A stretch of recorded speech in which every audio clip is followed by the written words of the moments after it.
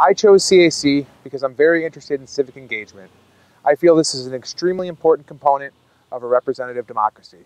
The most challenging aspect of working at CAC was dealing with the different issues that would come in from intake calls. There were different issues that I had never been exposed to previously, and researching these topics was challenging. The most important lesson I learned at CAC was that one individual can make a difference. Dealing directly with community issues that are personal to, the, to specific individuals really made me feel like I was making a difference in someone's life. Working at CAC was a great experience because I was exposed to many different topics and issues that I had not encountered before. There was a wide variety of experiences that came in from people that had issues in, in their communities. In addition, I got to attend several events that really made the intern experience an immersive one. Without a doubt, I would have to say the most inspirational part of working at CAC was seeing the individuals who are involved with the organization.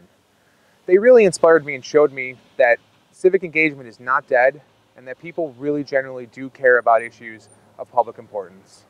In closing, I would just like to say CAC's mission is more important than ever. Having worked here, I can tell you firsthand that the importance of what is being done here cannot be understated. My name is Matthew McLawhorn. I'm a legal intern at CAC from the Northern Illinois University College of Law.